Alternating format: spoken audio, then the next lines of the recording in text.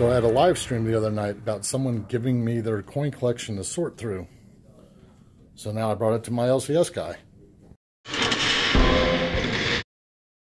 All right, everyone. Silver Steeler here. And Winning Image Photography. And, we're here with and Kurt. Kurt Ploughman. And uh, he's going to go ahead and give us a quick little what this might be worth.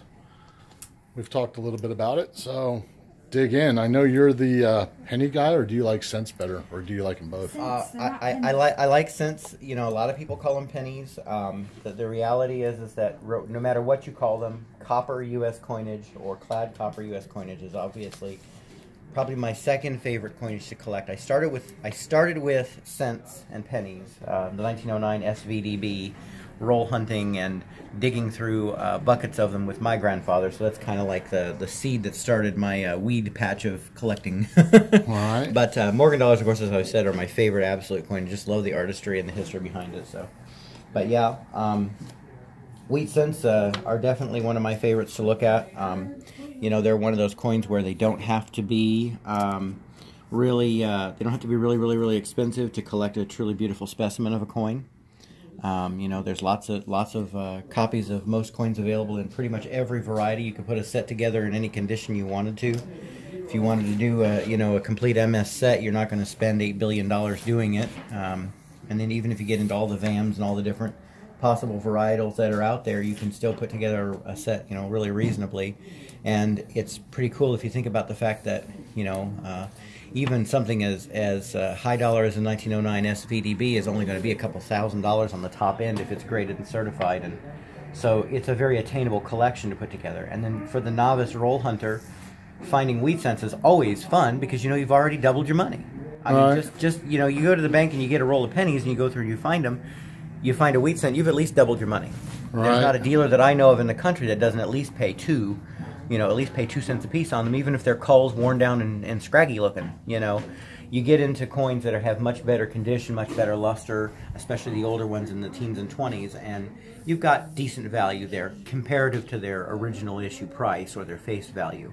Um, if you look at a Morgan dollar, a standard circulation Morgan dollar, standard circulation peace dollar in average circulated condition, you're looking at $16, $17 most commonly when you walk in the door at an LCS. That's 16 times face. But if you look at a penny, a wheat cent, like this one, which has a tremendous amount of blemish on it, obviously that, that it, no collector wants to make that a star of their collection. It's got a dam- it's got damage on one side, still a good example on the other side. I'd still give you twice or 200 times its face value. Right.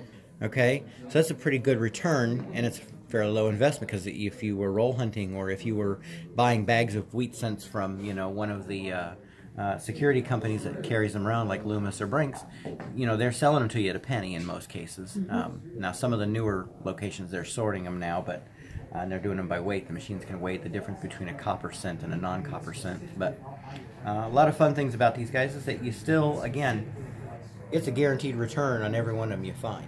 And then when you find a 1909, you know, you get a few dollars to 15 $18 in ungraded. You get 1909Ss and 1909 VDBs, and you're still looking, again, great money. You can get a 1909 SVDB or a 14D or a 31S in there, and you're looking at a coin that's, you know, 31 times, uh, or 30, I'm sorry, 30, you know, 31, 32 bucks for a coin that cost a penny that you found in, a- in a roll for a penny if you're lucky. Now, if you're not lucky, even if you go to an auction, you'll find boxes of coins at local auctions all the time that have a handful of wheat cents in there. Right. You know, um, you, you, it, it's quite regular to find semi-key dates in there. You know, Mm-hmm. and I find lots and lots and lots of teens. As you know, we've always got buckets around. You if you've been here yesterday, we had you know about four thousand of them in a bucket over here. The gentleman came in and, and bought all of them, and we hadn't even had time to go through them yet. Literally, they came in. I think they came in on Thursday, and they went out the door on Friday or Saturday. I can't remember which day he came in, and he Wow. got them all that quick. So it, Right. it, we, we go through them so fast. We don't get time to necessarily look through every cent we'd like to. You know, ones that are already two by two when they come in, obviously somebody took the time, so there must be a reason why. Sometimes, not like this one, we can regularly tell that this one probably came from uh, your friends over there at uh, at uh, Arizona Coin Company. This is quite common for the way they put them together. Um, they ship them out that way. Uh, they have a little uh, rubber stamp that they stamp on there, things like the word rare or key or semi key. We're looking at a coin that's you know got lots of damage. And yes, it is a lower mintage, the 1863, but that poor coin has been bent. It's got surface damage. It's been polished, not just clean. Somebody's actually buffed this. Puppy. Oh, So with the condition of that coin, it, you know, obviously it's it, it, it's going to be a very low cost, low value specimen of an 1863. Um, you know, so but when you see these kinds of collections, it's easy to go through and pick out what's there and how much money you've got or how much value you've got because a lot of the stuff is they've done half the work for you. You know, um, yeah.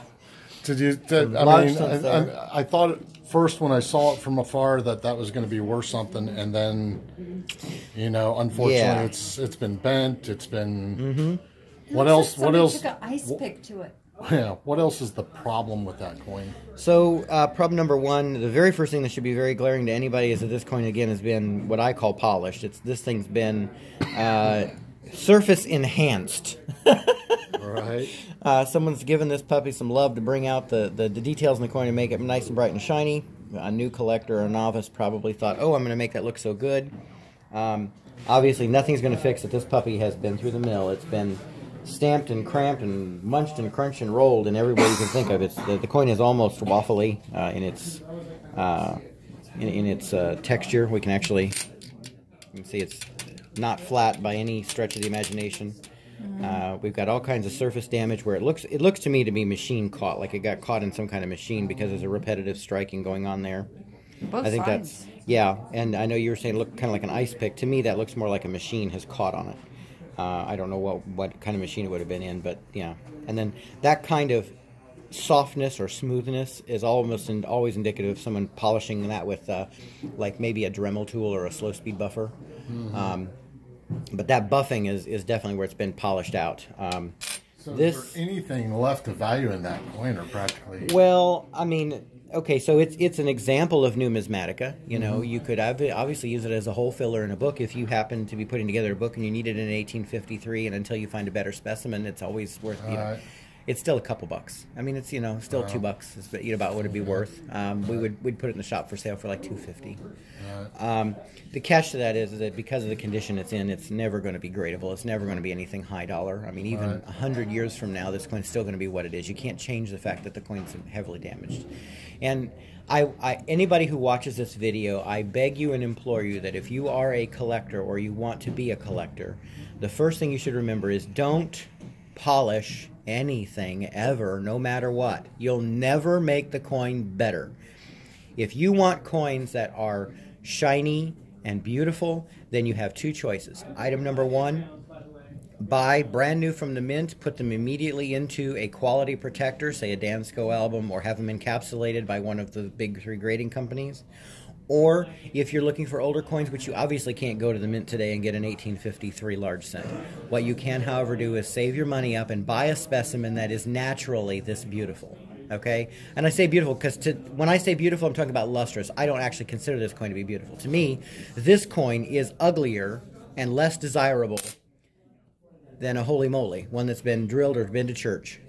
Uh, I would rather have this coin in my collection. A, this coin has genuinely been loved. Someone's carried it in their pocket for a very long time. It's been used over and over and over again, and it's a prime example of what United States currency should be, which is valued, prized, kept, and used. You know, this was this was a, a utilitarian piece. Coins, you know, uh, you look at one of these guys, and of course I'm gonna I'm gonna scare you all now, but you look at this one this coin obviously has a lot of the surface detail is gone absolutely worn down from time you know still way in way better shape than this one. This coin in this condition far more valuable than this coin. Okay? Now let's pretend for a minute this coin had not been um, smashed and mangled by a machine. If they had taken a coin with that much detail where you could still clearly see you know uh, the inside reading you could see the stars you know you got a nice strong date um, you've got parts of the curlicues left in the hair.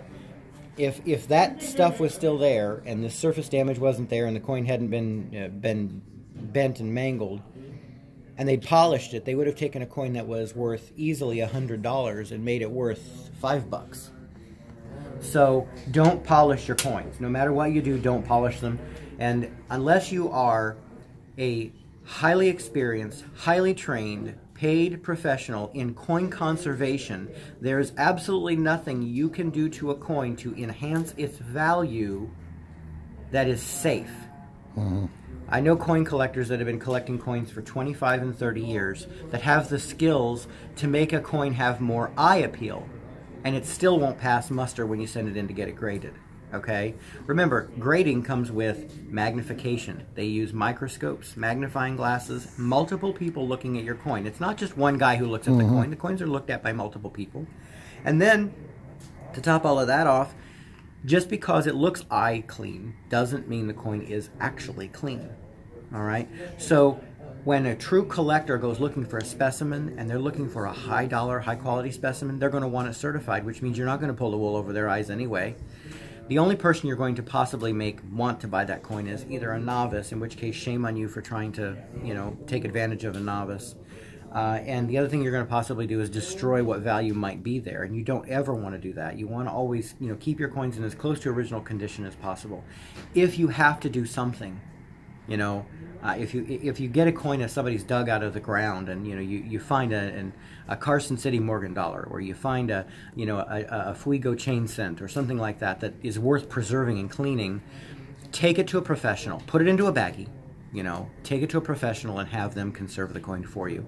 And worst comes worst, if you can't do that and you absolutely feel like you must do something to the coin, get some uh, distilled water, place the coin in some distilled water, let it sit for a moment, okay, and then rinse it off. Don't scrub the coin, don't polish the coin, don't buff the coin, don't use toothbrushes and Dremel tools and you know that kind of stuff.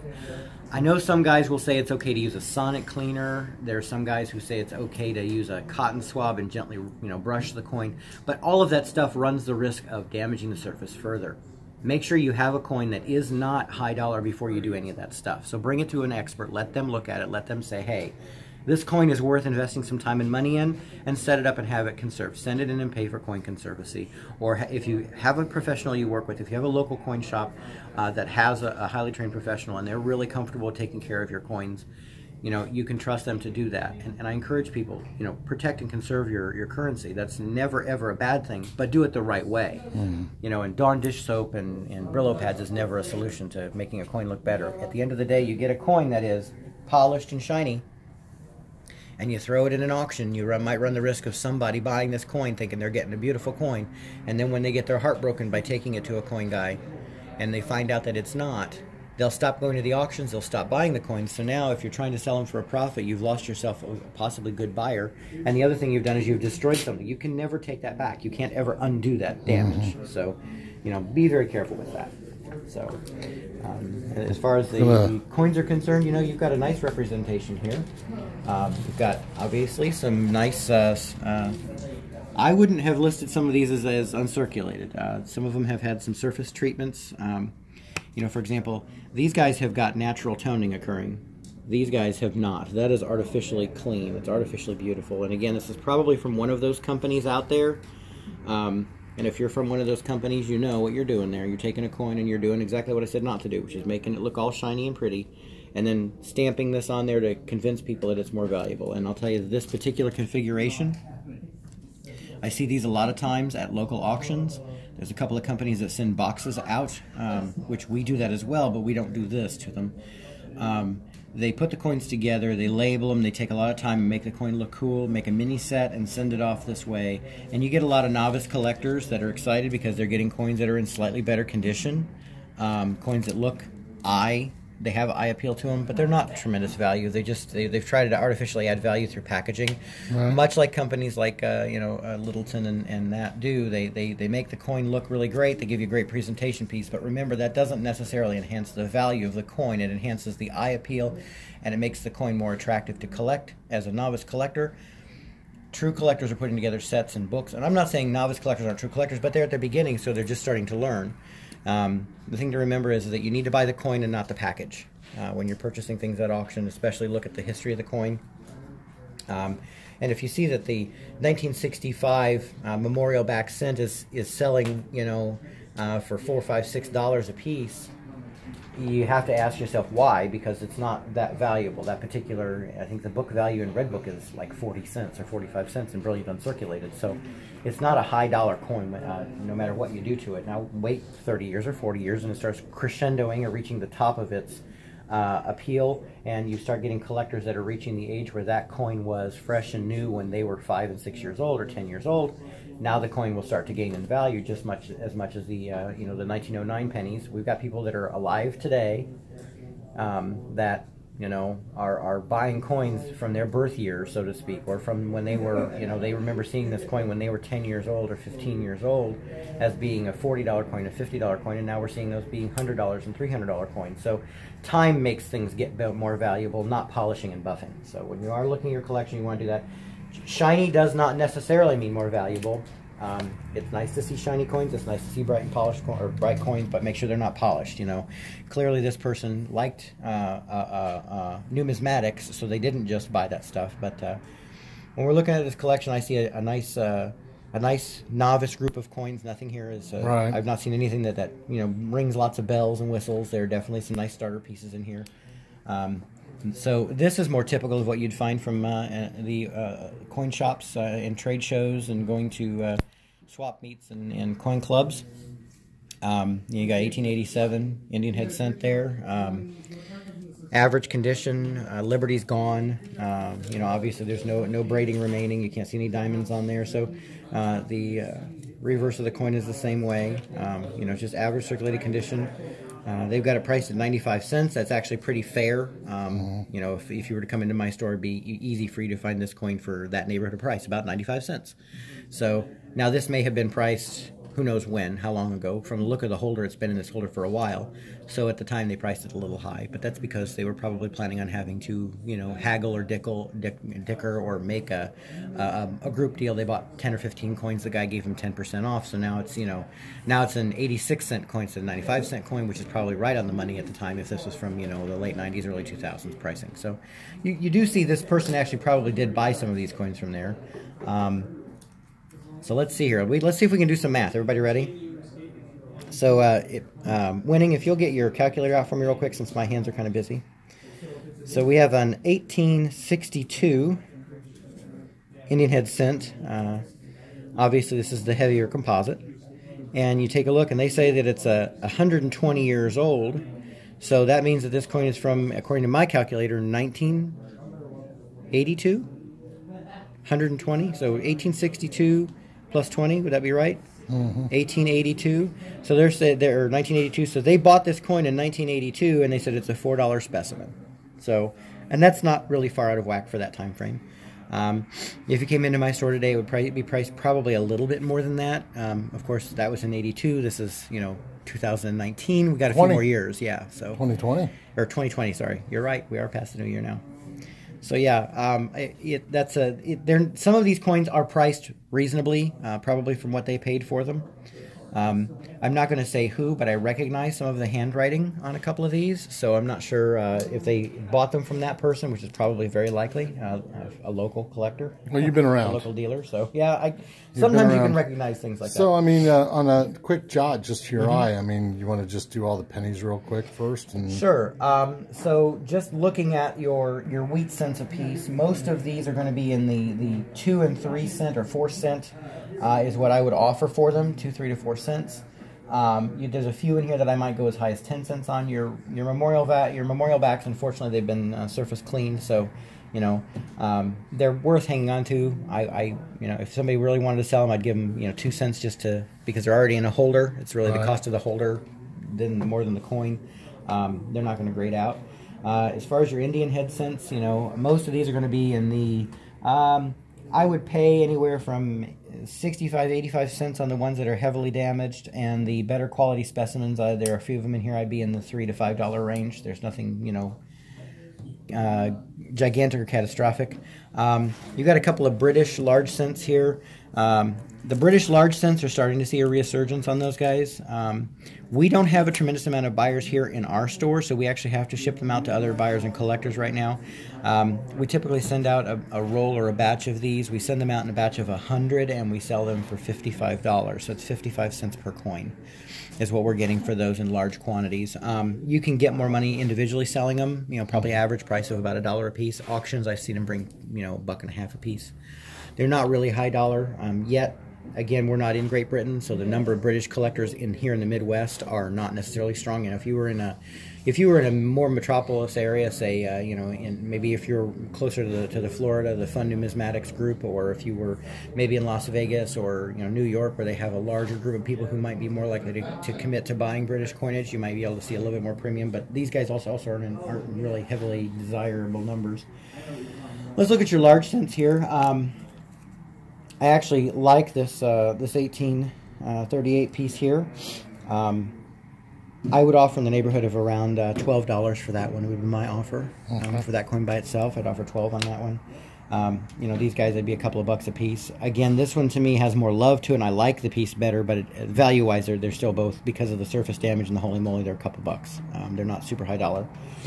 So let's move over. We have a damaged trime, the nickname for the silver three cent piece. Uh, has that uh, wonderful six-sided star uh, on one side and the uh, stylized beautiful C with the three in the middle, um, representing three cents. Uh, pretty cool piece. They're lots of fun. I, love good quality specimens. Um, again, this one has had the same love. Um, I, I, hope that it wasn't the collector that these came from that did this to the coins. No, I don't think not. it was. Yeah, no. because he's got he's got much better coins than if you were going to polish. There would be more a candidate right. for polishing. Again, this guy's pretty heavily waffled. You can probably you can see mm-hmm. absolutely not flat in any shape or form. Um, it's it's you know heavily loved. Um, we'd pay about four or five dollars for that coin in that condition. Mm-hmm. Um, you know, again, it we, we would sell it for you know probably six. Right. It's not you know if it were in better condition, you know more like 12, 15 bucks, but not this condition. Okay. Um, we move on to our buffalo nickels. Let's take a look at what we got up here. Um, these are all late date, partial date, and common. So we have a late date here with that has a full date.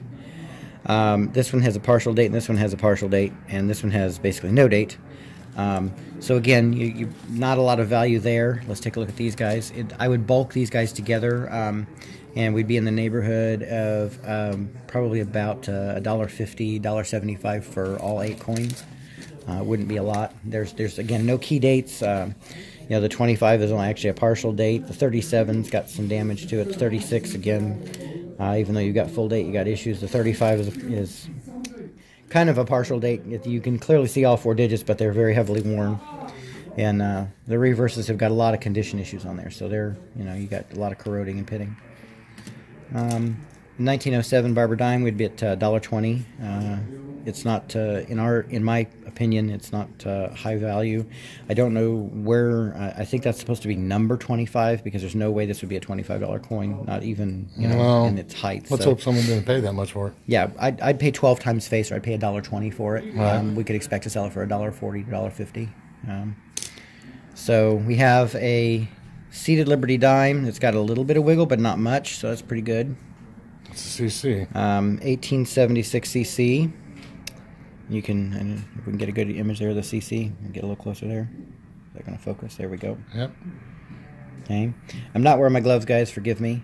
Um, see, the Liberty's got some surface conditions, uh, you know, but not terrible. You can still see most of the details in the draping, and you can see her bust clearly. Uh, the flag's got some heavy wear, but uh, you know everybody loves Carson City. Um, oh, I do. Yeah, I so, intend on buying that coin. Yeah, yeah. How much are you hoping to to lay out on it? I, I, told him it'd be anywhere from like twelve to fifteen dollars. You're right on the money. Um, we we would I would probably pay uh, I'd probably pay twelve fifty, thirteen dollars for okay. it. Yeah. yeah. maybe if I felt bad for the guy when he walked in the door, or if there was something else I wanted that I thought I could get some extra value out of, I could go fifteen on that one and recoup the value by on something else.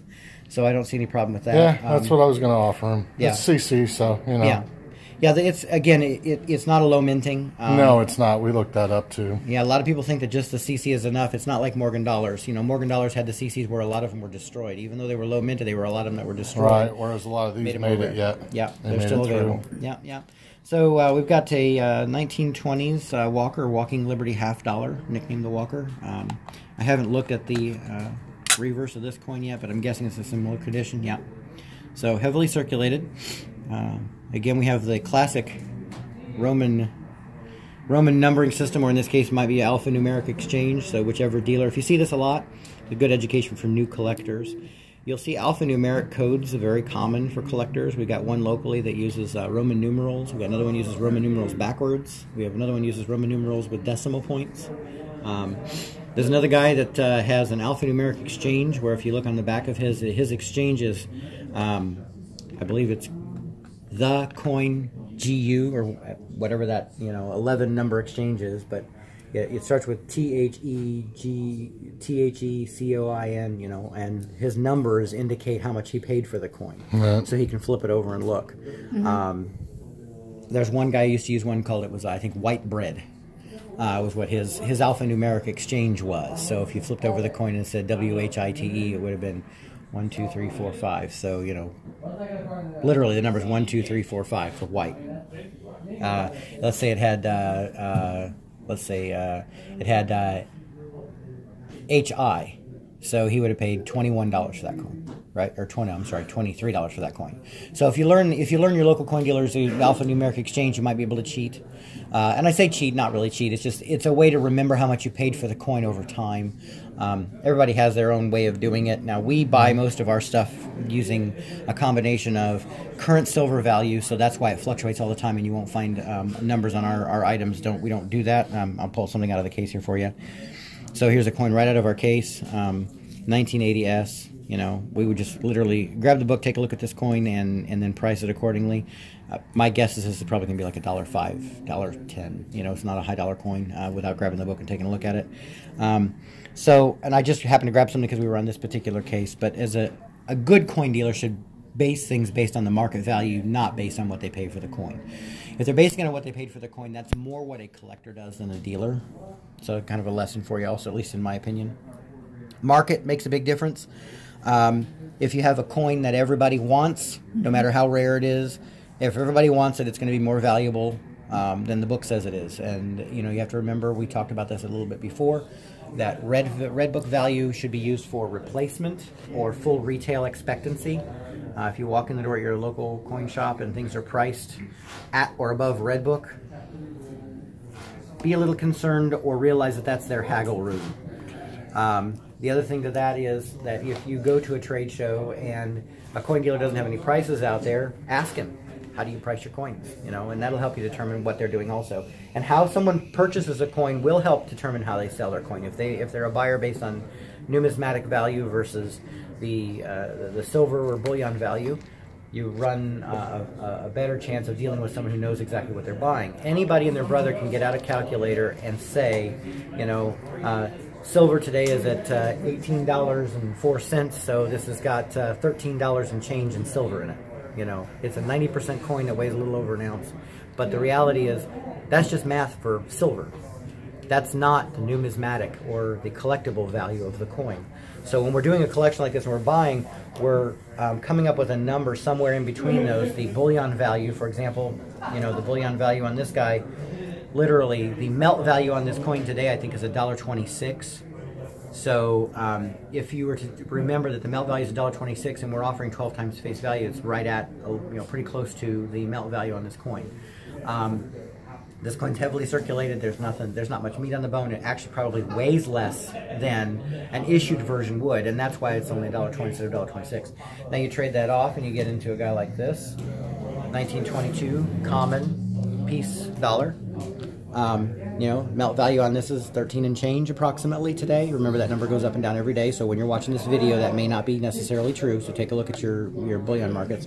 So if you were to buy this coin for that value, you're obviously not going to lose any money uh, as long as the silver market is stable. Um, but that doesn't take into account the collectability of the coin and the fact that this coin is from 1922. All right. You know, we're almost 100 years old. Two years. You know, so Yeah. almost 100 years old. But I think peace dollars are undervalued. They haven't jumped like Morgan's have. Correct. And Yeah. I think I think now's a good time to buy something. Maybe. Yeah, we're starting to see a uh, we're starting to see a resurgence actually in the peace dollars uh, collectability and excitement of the peace dollar. Um, you remember me saying at the beginning of this video and almost every video that I ever do that I, I love Morgan dollars and I love the artistry behind Morgan dollars. I am not I am not the rarity there. The beauty of the Morgan dollar and the artistry behind the carving of the Morgan dollar reminds most of us that it looks like a real person that we could actually see on the street. Uh, it was actually modeled after a young teacher. Um, so the artistry behind that, when they carved the designs and engraved the very first images of this, it was inspired by real life people. The Lady Liberty effigy that is on the peace dollar is more of a uh, caricature, if you will, or, or a is representation. kind of modeled after the guy's wife, Franchetti, It is. Franchetti's wife. It is, but the difference there is is that most people look at this and then you don't see a woman walking around with her mouth slightly agape. Yeah. You don't see women walking around with a crown on their head. Remember, at the time when the Morgan dollar was being circulated, women actually did wear headpieces that many times had artificial or real flowers in them. Uh, people would also walk around with their hair up in that style.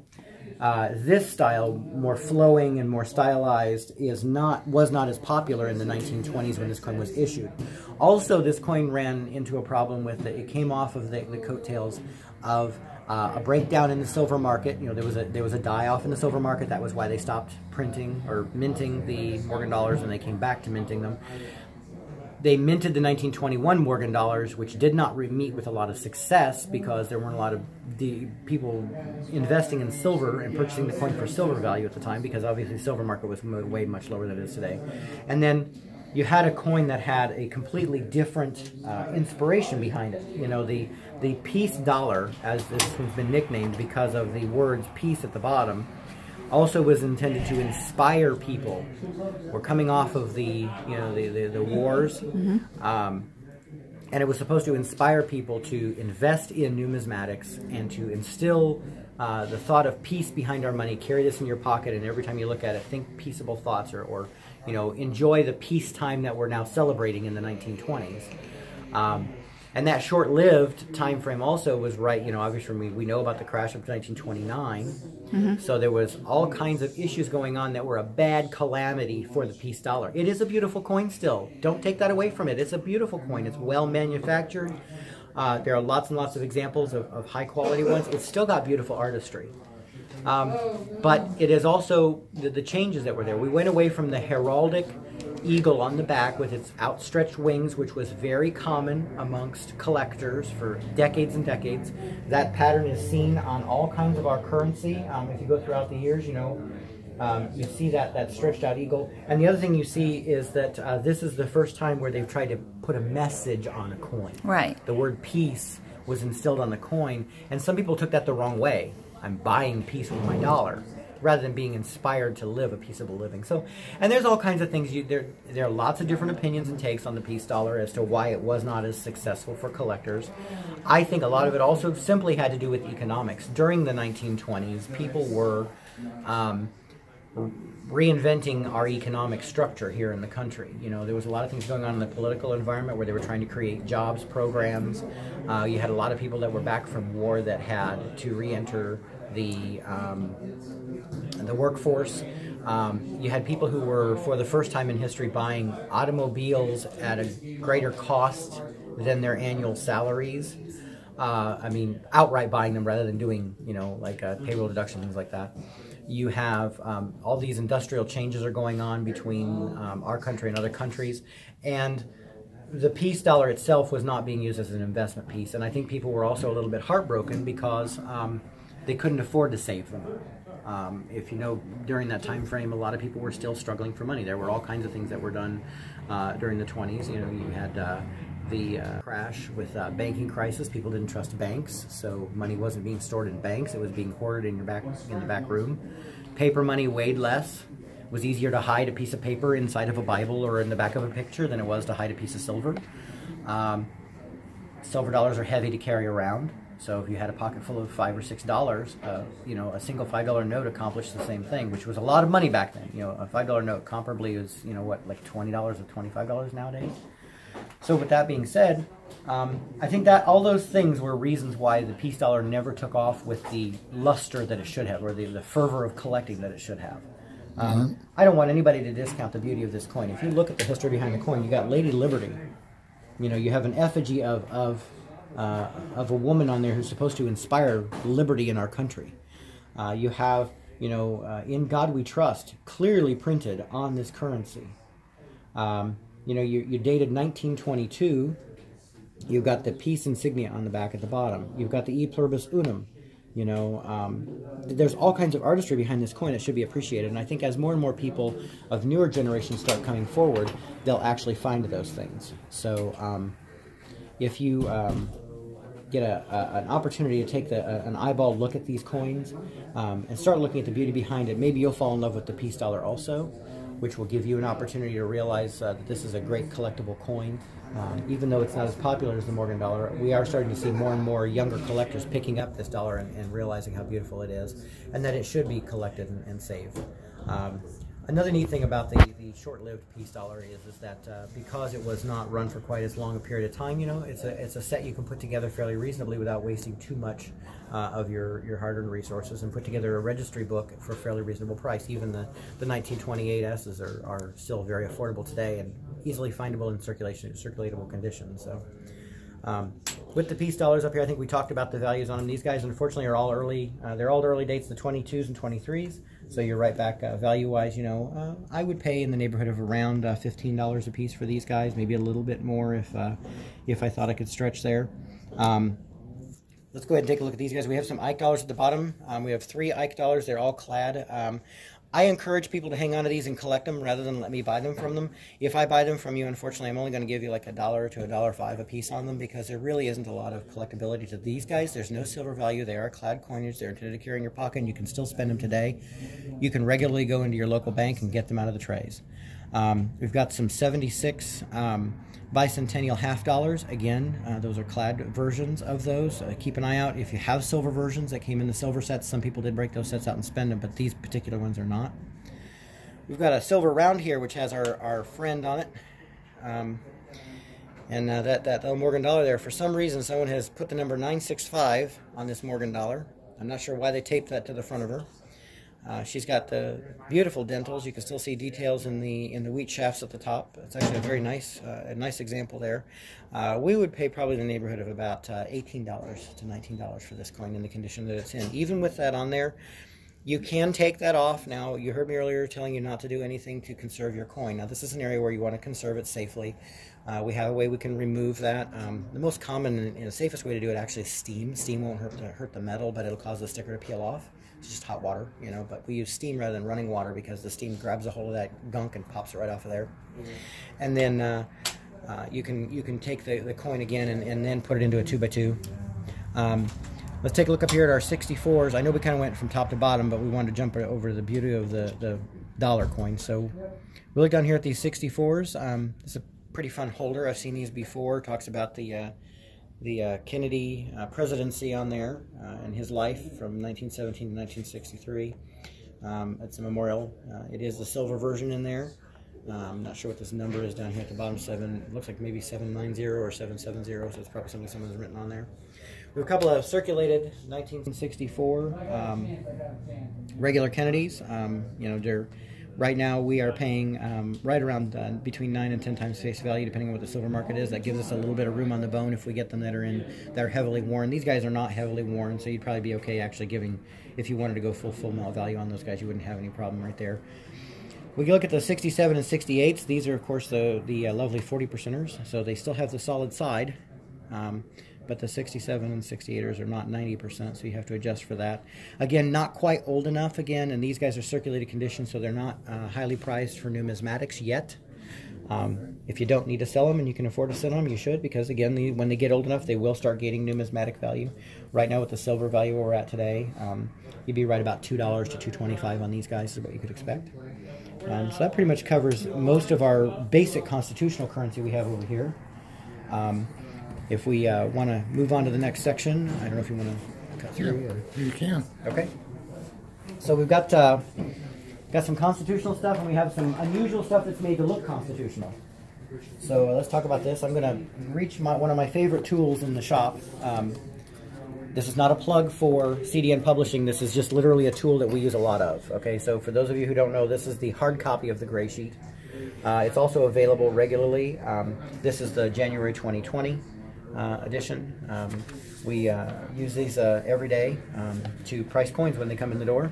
So when we pop these open, there's some great uh, great information that can be gleaned in here through the ads and the the uh, uh, informational sections, but more importantly are the coin values that are listed in here. Um, this is an invaluable tool for any collector, whether you're new or old. The gray sheet is a really reliable way to know what dealers are working with when we're buying, selling, and trading inside the industry. Um, this is kind of the standard to establish a value so that we're all pretty close to the same page. Of course, regional availability. You know, let's say, for example, you're in, in Buffalo, New York, and there's 8,000 of a certain coin that people in California or the Midwest uh, can't get they might pay more in California or the Midwest than they would in Buffalo, New York. Uh, here in Indiana, um, we tend to see a lot of uh, the uh, collectible uh, proof uh, silver rounds come in. Um, and what happens is that the market's heavily flooded with those. So when we establish value, we know that where we're marketing them is going to also establish how much we're going to, or uh, influence how much we're going to pay for the items. So we typically use gray sheet um, to determine value. So what we're going to do is pop this puppy open, and we're going to go to the um, modern commemoratives, which uh, according to this guide is on page 29. So we flip forward here, and this is just literally, um, they're broken down by uh, denomination, uh, and then MS or PR, this is important. So you have $1 MS, that's the mint state versions, or $1 PR for the proof versions. Uh, this is uh, very important because the, the, the, values can be pretty different. Uh, right now, most of the modern commemorative stuff is not um, super highly prized, but there are a few editions that are, so you want to make sure you take a close eye. So let's pick a very common example. Um, if we take a look here, we have the 1986, um, we have the Ellis Island piece. This is, of course, the $1. I'm going to pop this out so people can see. Um, and this holder is actually damaged, so that would make a difference because the values in here are assuming that everything is pristine as it was shipped from the mint. This particular piece is not. Um, it's been damaged. Not only has obviously been opened, you can see this is actually loose and opened, but pieces of the plastic are missing from the capsule. You can also see there's that indicative uh, toning that's occurring. Now that toning is a good sign that the coin actually probably hasn't been handled. What's more likely is that this has gotten dropped and it's popped open a little bit and somebody's pressed it closed. But uh, like me, they, they pulled it out to take a look at it. So we take a look and you've got uh, the iconic uh, uh, Liberty uh, torch in the background there. It's got some great art to it. This is, of course, the 1986S. So we're going to take a look here for the 1986S $1 coin. Uh, we find it right here, Statue of Liberty, 1986 right now. Uh, and the proof, which is what this one is, uh, is $17.50 is its value for that piece. Now, the value is what it would be for dealer to dealer to purchase this coin okay? Or if you as a collector walked up to a dealer and wanted to purchase this coin, okay? Now, the price we would pay obviously will be somewhat below that, and every dealer uses their own system to determine value and how much they would pay. Um, again, I talked about regional, reg, regional uh, proliferation or availability. The more and more something's available, the lower and lower the value or the influence it has on it. Let's not forget, this is silver coinage. This puppy still contains you know, uh, silver. And it is still, no matter what you do to it, always going to contain silver value. And today it's silver at $18.04 per ounce. Well, my goodness, the coin is worth more as an ounce of silver than the book gives it value. So you have to take that into account when you're looking at these values. If this coin says that it's 1750, you know, that's because the day this book was printed, silver might have only been at $17.70, or with this being a 90% coin, uh, it would be less value. So with that being said, you have to also understand your coinage and know what you're buying. Most of these were shipped with a certificate. Let's see if this one is in here. And it is. And remember I said we want to be careful because some of these are not 100%, they're 90%, which is the case in this one. It actually is 900% fine or 90% silver. It contains 0.86 of a troy ounce. So if we get that calculator out again, you would take uh, the $18.04, and uh, I'll actually do this right in front of you on camera here so everybody can see. So $18.04, and then you'd multiply that times the uh, 0.77 of an ounce that it contains, and it's got $13.89 worth of metal in it. $13.89 worth of metal. So we would melt it down for 18.39. Um, I'm sorry, 13.89. I said that backwards. With that being said, that's if you're going to melt the coin down, which of course you would never want to do that to a coin when there's nothing wrong with the coin because it's going to do nothing but appreciate over time. Again, common issue, heavily available. Everybody's got one. A lot. These guys were sold in several programs. Uh, we've got a really great example here. This one was sold by itself like this with a single coin with a holder. in the beautiful velvet box. Um, the box is here with its certificates. You've got both certificates that came with it. One discussing the coinage uh, and the details, and one talking about the history of the coins. Okay, um, it has the box and everything there for it. It doesn't have the outer sleeve. These were originally issued with an outer sleeve. Um, but with that being said, then there is the companion piece, which was sold separately as well, which is of course the half dollar. Um, again, similar packaging. You can see it's designed to com to complement it. Um, and actually, this one, somebody has taken the item out. The reason we know this is because it's actually in the holder upside down. It actually should be this direction so that they look the same. Um, now you can see where they both have the little tab at the bottom. You peel up to make it pop out. That's how it should look, and they should line up like that. Kind of fun. Um, other interesting thing about this guy, if you take a look, um, he's actually a clad piece. This is actually the clad version. So um, a little interesting history there. And then the third way that they issued or marketed this particular set was like this, where they had the two pieces together in the same size container, same size outer sleeve, same size uh, cardboard tray. However, the inner plastic or uh, velvet box was shaped differently. So this velvet box was larger. It contained both versions of the coin. And if we pop this up, we'll find that we do have our certificates. Okay. And then you have the um, the silver coinage, which is weighted on the silver dollar piece. Now we pop this open and we have the half dollar piece, which you'll note contains no silver. It is clad, so it's 33% or 30.33 of a troy ounce of copper and 0.03 uh, troy ounce of nickel. So uh, again, there's no silver fineness to it. Um, these are both the proof examples again. Now this is where knowing what's in your book is going to make a big difference because now we're going to look at the book um, and we take a look down here again. And if we want to pan in, now, instead of looking at the proof set, we're actually going to come over here and look at coin sets, okay? And we look here, we have the Statue of Liberty, 1986 Statue of Liberty two-piece set, and the book value on that is only $20 for the completed set. So these are right at 20 bucks a piece in value. So, of course, as a buyer, you'd want uh, to buy it for a little bit less than that. Um, keep in mind, it, it still contains all that silver and has a tremendous amount of um, numismatic uh, beauty to it. So when you're making an offer to someone to purchase these, you have to take that into account. But it's kind of interesting to see how you got the, the one piece of 1750, the clad piece, the book value. Um, I don't think we looked at that one yet. But let's go ahead and look down here. The Statue of Liberty is $2.85 um, for that particular one. That is for the 1986S, uh, half dollar in clad. Remember, there's no silver in that one, so it's only worth $2.85, but it's still a pretty piece. The reason these are so low value, there were lots and lots of them made, there were a tremendous amount of them sold, and there are lots of them available, and it doesn't contain silver value, and it's not very old yet. I mean, it's only 1986, and this is 2020. So as the coin gets older, you'll see that value start to skyrocket. If you take a look at things that are prior to 1957, they're starting to go crazy now. The value is skyrocketing exponentially uh, as the dates get older and older. Uh, you look at the 51 and 52 mint and proof sets. Those guys go from being, um, if you go, I think it's a 54 set today, uh, was worth like $21 and a 52 set and 53 sets are worth over $50 a piece. Um, the exact numbers I'd have to look, but gives you an idea right there. They've crossed that line. So as these guys get closer, as the 86s get closer, you'll start to see them jump up also. They're a great candidate to hang on to your collection because you're not going to get rich taking them to a local coin guy.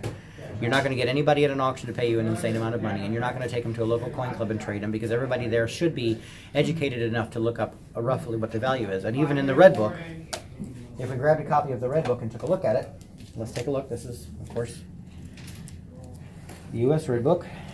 So we look in the commemoratives. Uh, we need modern, modern commemoratives.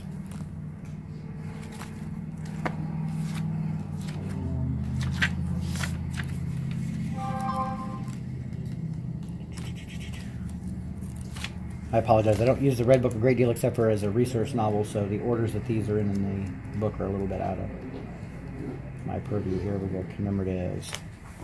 So, trying to find the 86s, guys. I apologize. I got to flip a little faster. I should have had these earmarked before we started videoing. Okay, we're getting closer here. I'm off by a page. Here we go. So we look at the 86s. The red book value, remember we said the gray sheet tells us that the, uh, the, the clad half dollar was $2.85. A graded MS67 would be worth $5 according to the gray sheet. The same type mint proof set is $5. So the MS and the graded are exactly the same value, um, both MS or proof. Five bucks, so the gray sheet says 285 Kind of gives you a good indication. This is intended for insurance and replacement values. Uh, to give you an idea of what you might expect expect to spend if you were forced to go and replace the coin and you had to get it right away and you're not going to be able to do any kind of value or bargain shopping. Okay, same thing with the the uh, silver dollar. Uh, book value said 1750 and this guy is at $25 in the book. So it gives you kind of a good idea there uh, of how to compare what you can actually get, expect to get out of your coins versus what the coin books say value is. So um, we look at some other coins we've got on the table here. Um, we've got some mint and proof sets. Um, these guys are all low dollar. Um, we take a look. Those don't even go together. Right. I noticed that. Yep, yep. Well, if you notice, this is the 1980 and this one's a 1979, so somebody's got two partial or half sets. Um, typically these were shipped like this.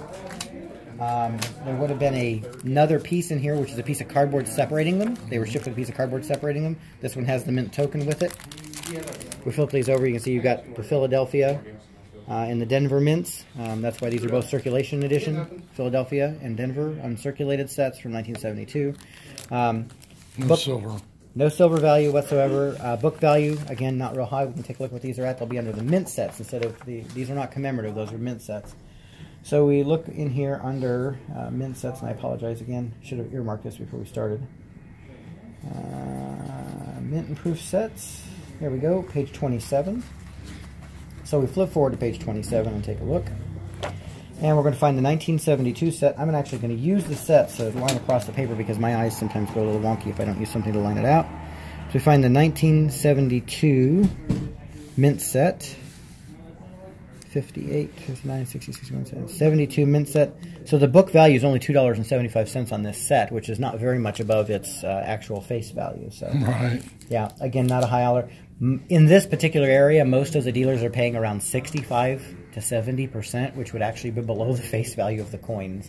So we don't do that. Um, we guarantee you we'll at least pay you face value on your mint sets.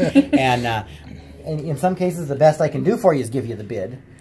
The bid price or the you know the, the dealer ask price. So if I give you the full 275, um, I'm very competitive compared to what other uh, coin shops are. But we don't always do that. It just depends on what you've got in the condition. You know, this one the em the envelope is actually damaged.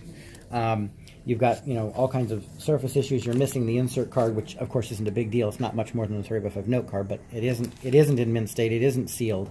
So in this case, we would look at it. We'd probably look at the face value and then give you, you know, an extra five or ten cents, maybe a quarter, just to you know give you something for hanging on to it. Unfortunately, it's it's one of those items. Again, you should probably hang on to it unless you have to sell it. Um, you get into the proof sets, you'll notice that we were talking about a mint set before. This is a proof set. They were packaged differently during this time frame. Um, this is a 1989 set. We see this uh, the card and certificate are here. The coins, these coins are encapsulated. You can see those are on the proof planchets with the proof dies. Uh, a lot of people don't know that, but uh, give you an idea, these guys are struck twice. Uh, each coin has been hit twice by the die, um, and they're on the specially prepared planchets, and the dies are polished after uh, a much shorter run of coins than the business strike coin. So it gives you a much better beautiful version of the coin. Um, again, has not reached a high value yet, so let's take a look. So instead of looking at mint sets, we're going to look at the proof sets again. And this is the 1989. So we pop right on up here to 89. I should say up here, I was going down. So the 89 traditional set is only $3.25 is the bid price on this one. Yeah, so it's not super high. Again, give it some time, it'll grow. So that kind of gives you an idea on those guys. Um, there is a, another proof set here. This one is from Bicentennial Set. Again, not super, super high in, in value. It, beautiful coin. Great example. This one has a fun holder, which is designed to actually be a stand as well. It doubles as a protective case for the um, obverse of the coin, while still allowing the reverse to be exposed. Um, you got the bicentennial effigies on the back. You got the, the Liberty Bell and the moon, and of course uh, Mr. Revere there, showing you the uh, showing you the uh, drummer sequence, uh, however you want to look at it. Uh, neat piece uh, of history. It's a great coin, great collect or great coin set, great collectability. Not high value, so let's take a look. Um, again, with this being the 76 three-piece set, we're going to look at the proof sets. And we go to 76S, and it's a whopping five bucks, guys. Wow. Beautiful coins, just not there numismatically yet. So right. Give them some time, and they'll get there, okay? Um, here we have um, a Helvetica set. Um, these Helvetica sets are kind of cool. There, um, there are some silver coins in here and some non-silver coins in here. Um, we'll have to get the World Coin Guide out to take a look at these guys. And unfortunately, we can't see the dates on all of them. We're assuming um, that they're not the same date because we have a 69, a 70, and a 68. So we're going to assume these are from different dates, which means we have to look up which ones contain silver, which ones don't. I will tell you that I've bought several of these Helvetica sets recently. We typically value them at right about six bucks. Um, they're not high value. These were made of lower content silver than U.S. currency, so they're not like 90 percenters. Um, and there's not a blanket number. They're not all of them are you know, 0.70, 0.68, 0.35. Swiss? Is it Swiss? Uh, the Helveticas are, yeah. Yep. we got it right. Yep, that's correct. Um, they were very popular because of the cross pattern that was on them, and a lot of people thought that they were like uh, uh, part of the Red Cross or the Protective Cross or something like that. But that's not the case at all. Um, it was the cross and shield, which was part of their emblems for their government. Uh, you know, so much like the you, you get the, uh, the the flag of Texas has the great star in the center. Everybody sees that; they know it's the state of Texas. Well, if you're looking at numismatica and you see this, you know that that's from that's a Helvetica. So. Yep, kind of fun. Well, you're getting um, through it, aren't you? And the yeah. only other thing, what would you say? I mean, let's get to these guys. So these are kind of fun. Um, they're meant to look like a U.S. Mint product. Not really intended to fool anybody, but they are intended to look like that. These are um, commemorative Persian Gulf tokens. And I'm going to actually pop this the card other ones come out a lot easier. Okay, well, I, I got this one. We're good. Right. Yeah. These are Persian Gulf tokens, okay? Um, they have the Persian Gulf battles at the bottom, February 27th, 1991. You have, of course, Air Force, infantry, and I don't remember, but I think this one. I think this one's actually Marine Corps with the helicopter, but I could be wrong. Which ones are which? Um, we look at the back. We've got the uh, eagle pattern with the star with the flag behind it. Um, again, this is not U.S. issued coinage, but um, I'm going to use the other. I'm not going to pop this one. I'm going to grab one of the other ones and pop it out because it's already been out of its holder. Um, but uh, these guys, unfortunately, uh, to break everybody's hearts, uh, maybe do you do you want to tell them Silver Steeler or shall I? Uh, well, I told them on my live stream just last night. If they had watched that, they know. But they don't have any silver in it. They're just coppers, right? I mean, yeah, these are these are they're clad. Um, they're clad, so they, they obviously contain white metal additives, but they are not nine two five or nine nine nine or eight five zero or four five zero. They are they are just nice collectible pieces. Um, there was an issue of these that was made that did contain silver. The ones that did, if you look on the side, had a place where the reading had a gap in it, and it had the number .999 fine on it. So if you ever find one of these in a flea market or a trade show, look at your rim. It's the only way to designate the difference between the silver and the non-silver versions. Gotcha. Um, so interesting fun fact. They are still a really cool piece. Yeah. Um, we actually still pay $6 for these, for the set. Six dollars for the set. Yeah, we pay six dollars for the set. They typically sell for about 10 12 bucks. Um, they were originally issued with a mint price, I believe, of nineteen ninety nine per coin if you bought them in separate sections. Wow. Like this, where the U.S. Mint sent them one at a time. They would send mm. it to you in a little little bag, little velvet bag. And then if you bought the three piece set, I believe it was issued at forty nine ninety five for the gotcha. three piece set. So it is pretty pricey, kind of expensive. But they, they mimicked, if you look, oh yeah, they were made to look a lot like the mm. U.S. mint packaging. Mm-hmm. Um, if you flip the mint packaging over and you look at the back, there's really it's really easy to see why, especially on a TV ad or an internet ad, why it might confuse some people. Sure. This is a great example of where someone has said, "Hey, I can capitalize on people's collectability and desire to buy something." Um, but uh, gives you a rough idea that, well, not idea, but uh, gives you a rough feeling that maybe somebody's out to get somebody. They're not. They're not telling because they didn't mark it as silver or silver clad or silver plated. And we see a lot of that kind of stuff that comes in. So it says silver clad, silver plated, silver layered. Uh, or silver tone that doesn't actually contain silver. These guys weren't intended to, to fool anybody. They are a commemorative token. Um, but don't mistake them for U.S. Mint product. They just kind of have copied the very successful packaging of the U.S. Mint, so kind of cool. We've got a couple of uh, coin sleeves here. We're going to break some hearts with this one, guys. U.S. nickel set. This is a late date set. Does not contain any silver. We would pay face value plus 1 for this set, okay? Now, unfortunately, somebody's got a $42 price tag on there. I'm hoping what they did was they went through and valued these all at the highest possible value according to Graysheet or, or Redbook, right. and then put that number on there. Um, the reality is, if you walk into my store, you would expect to buy it at face value plus two bucks. We don't make a lot of money on them, and at most shops you go to, these guys we get lots and lots and lots and lots of them, stacks and stacks of them. They're not high dollar yet, and nickels are a difficult sell anyway. So we get into Buffalo Nickels. You got a book here. It's got a few in it. We would price these individually, probably in the neighborhood of between um, five and fifteen cents a piece. the no date ones that are heavily damaged, they're they're you know obviously their face value would give you know their value is probably five or six cents, um, maybe as much as ten at an auction, but by the time you take out commissions. And then if you look at these guys, some of them you could probably get into the 10 or 11 cent range, but if you look, quite a few of them got heavy surface damage on them, so they're not highly valuable. Um, and again, if you look, this set is pretty much empty. Yeah. So we would just take and multiply the coins, and then since some of them are five five cents and some of them might be as much as a quarter, we take and probably multiply them by ten cents is what I would do for a normal person walking in the door, um, to give them just a kind of a flat value across the board. If they want me to go through each individual coin and do that, I will, but they run the risk actually of they may come out a, a, little bit ahead or they may come out a little bit behind. I do the average thing, and it just saves everybody time and trouble, especially since you're not talking about a lot of money. Again, same thing here. Very common book set.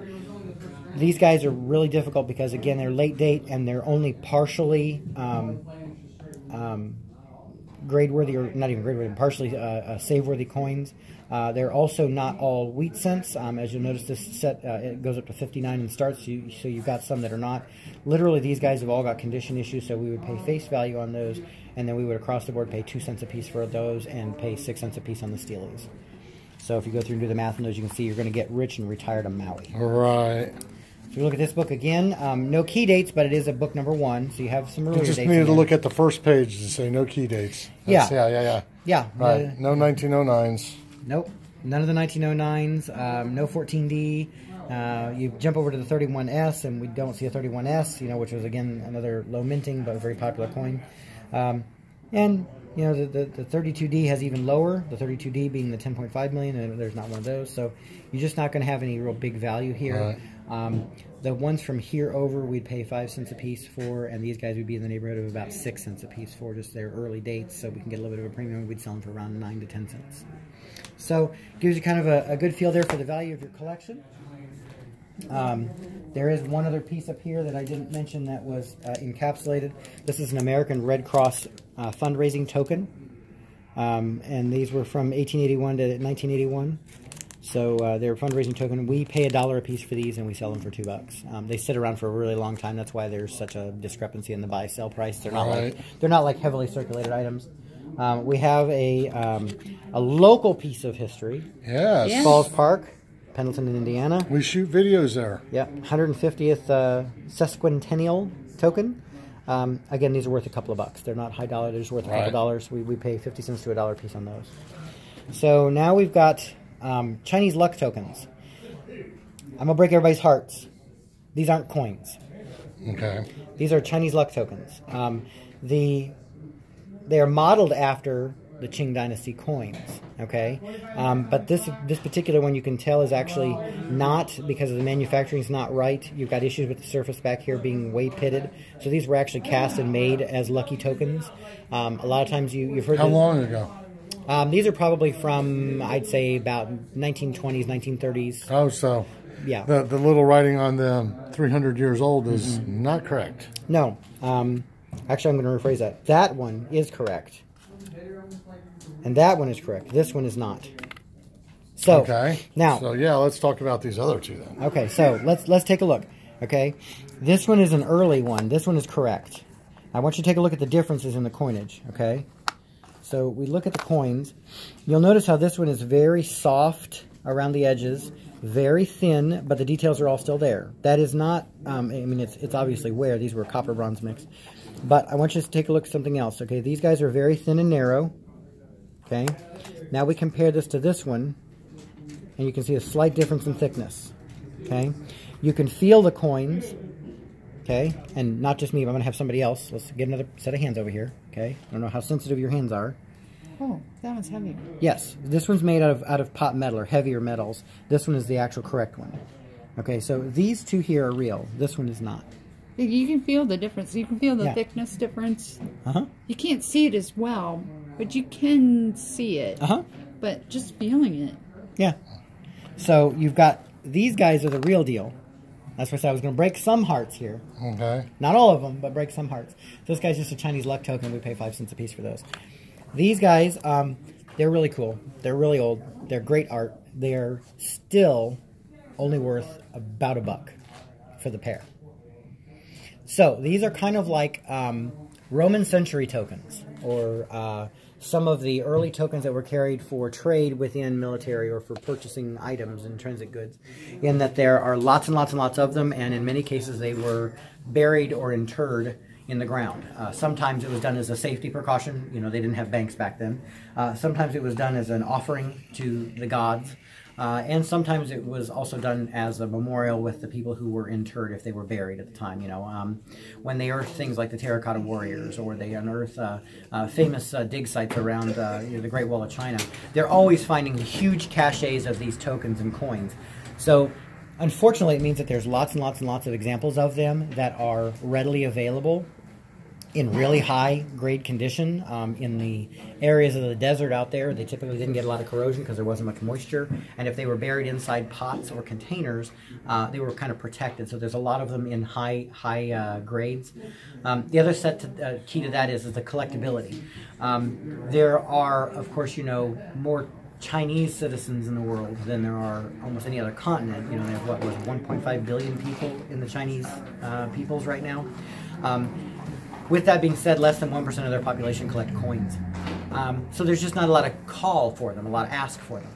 Whereas if you take a look at the exact opposite with the Roman currency, uh, that you find that are buried the same way, buried in pots for either military purposes, like a bank, you know, offerings to the gods, or interred with people when they died, or in the case of some cases like uh, around Pompeii where they were buried by uh, pyroclastic ash, um, you do find large numbers of those coins that are in really great shape. And if you find some of them, if you've got the right version, like let's say you find an owl in really great condition, you got a three, four, five hundred dollar coin. Those contain silver also, interestingly enough. Then you get into some of the bronze Roman coinage, and they're a couple bucks, just like these guys. They're really there's just so many of them, and the difference there being is that in there there are far fewer you know, Italian collectors or Roman collectors or Persian collectors in the world. But those particular coins have cross population because many of the European and English peoples will collect those coins as well because of the tie in in the history. Where the Asian peoples, because of the great dynamic difference in our peoples, don't necessarily cross value or collect as much as we do. So when it comes to the collectability of the Chinese and Asian coins, you really have to have something that is really high value, really rare, probably graded and authenticated. Authenticated is more likely, but graded and authenticated to drive that value up. Even though they're 300 years, 400 years, 500 years old, they're still not really super valuable. But they're great pieces to keep, and they, they were also carried around, the ones with the holes in them. Um, a lot of them would actually string them on things and carry them around for good luck. Um, the hole in the center was designed to allow them to carry them around and pass them out as coinage. But you'll find a lot of times people use these to make things out of. Um, I actually saw one recently at an auction that was made into a doll where they had strung them together using rattan and made arms and legs and a head and all of that out of these for good luck, and they'd hang it in their home.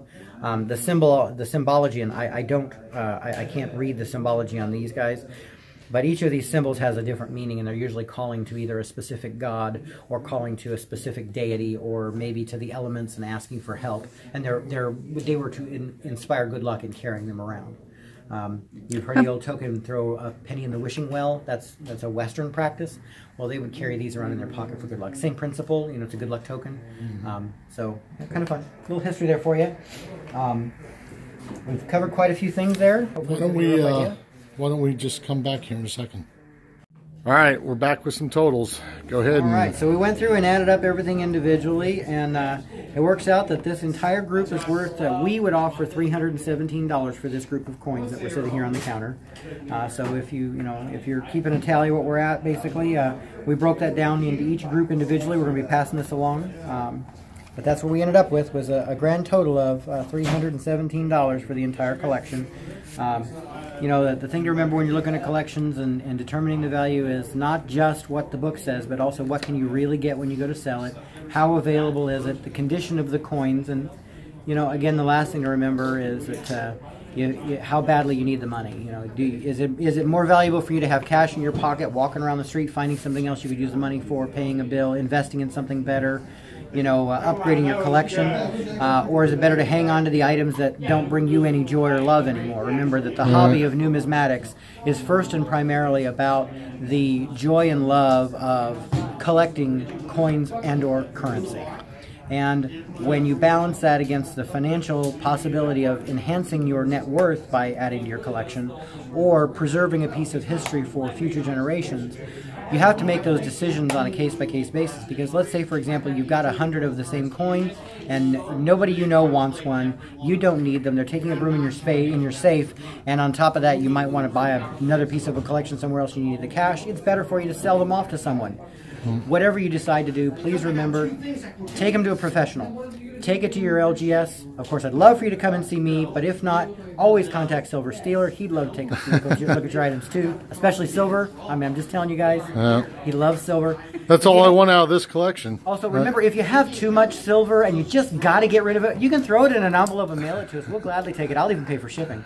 Uh, also, if you have a collection and you want to get it looked at, and I'm going to give a shameless plug here, if you want to get it looked at and you don't have time to take it somewhere, you can always ship it to someone like me. Contact us ahead of time. Let me know that you're thinking about shipping something. Ship it with tracking.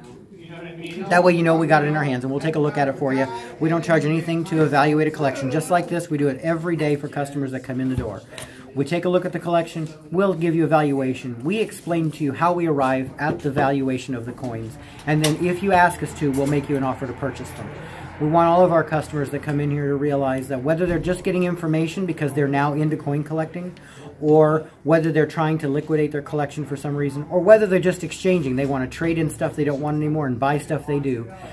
Make sure that whoever you do it with, they explain how they came to the values because there shouldn't be secrets in numismatics. It's not a hidden industry. It shouldn't be, you should never be afraid to go to your local coin shop guy or your, your, your collector's club and discuss the value of coins. It isn't a secret, and I know a lot of people are afraid to do that, but don't. Also, be aware that you know many times just because you've done a little research on the internet and you see somebody sold a 1956 wheat penny for $1,000 doesn't mean that the one you have in your hands is actually $1,000. There may have been a perfect storm of stuff that happened to cause that coin to sell really high. There's also the fluke factor. There's always a chance that some dude just hit the wrong button and accidentally put the comment in the wrong place, and another guy who had too much money or was half asleep in the middle of the night at his bachelor party clicked buy it now. So when you're doing research on the internet, use reputable sources, use companies that you can uh, refer to as, as having a good history, you know, CDN Publishing, uh, of course, uh, everybody knows the, the, the, Whitman Publishing Company, um, Coin, uh, uh, Coin World, um, any of those companies that manufacture periodicals um, will give you an idea to start from and then come to a real value based on you know what are your circumstances? Do you need to sell it? Do you not need to? As you heard me say earlier in the video there are a lot of times when it's better to hang on to the coin than to sell it. Mm-hmm. of course as as a dealer i will buy almost any numismatics or coinage that come through my door so long as it's the real thing. I will almost always make you an offer if you ask me to but my determining the valuation should not ever be driven solely on the idea of me buying your collection. It should be informative first, and then if I can purchase the items and make a profit from you, then that should come second. Um, any good coin dealer should treat you the same way. And I would hope that those of you out there that are just getting into the hobby don't get afraid, don't are not afraid to go and local, talk to your local coin shop. It's okay. We all started as novices at one point in time. You know, um, you don't gain knowledge if you don't ask questions. You don't learn if you don't try. And if you keep your head in the sand, you're never going to get any better than you were. And by all means, whether you're looking to sell your collection or not, it's fun for me to look at your collection. I get joy out of it. I know that, that you know, Winning Image and, and uh, Silver Steeler love to look at coins from everybody else. That's why we do what we do. So share your coinage. Whether you want to sell it or not, share it with the world, be it through a video, a direct message, or walking into an LGS. Share that collection, and maybe, who knows, you might just unearth something that's worth a ton of money. You might be like the, the collection that came in today and a lot of common and average stuff. There's still value in all of it. So, you know, chin up, have lots of fun, and, and go out there and find the bargains, guys. And remember, look at every auction, every garage sale, every flea market, and don't ever throw a box away from the attic without opening it up. Because in the bottom of it, you might find a roll of silver eagles, or you might find a Confederate gold piece. You never know. Well, so, can you give us information for our subscribers to contact you if they want? Well, sure, absolutely. You can contact me. Uh, we're located here at the shop in Anderson. Uh, if you want to call 765-356-3295, uh, that's direct to me. Uh, you can also contact us on the internet if you want to go through Facebook, uh, Dragon's Hoard Coins and Gaming, uh, or you can directly email us at Dragon's Hoard Coins Gaming and Jewelry. I'm sorry, Dragon's Hoard Coins and Jewelry at yahoo.com. Um, and of course, uh, you're always welcome to stop by. We're located at 2210 South Scatterfield Road here in Anderson, Indiana. Uh, you come in and see the shop, sit down, uh, enjoy a soft drink. We'll be glad to talk to you about your collection. Um, you know, again, it doesn't cost anything to enjoy numismatics unless you decide to buy or sell or trade something. So come in and share your knowledge and bring us your collection. We'd love to look at it. Thank you so much, Kurt. Well, it's going to bring this one to a close. Remember to like, subscribe, and all those other good things. We'll see you on the next video.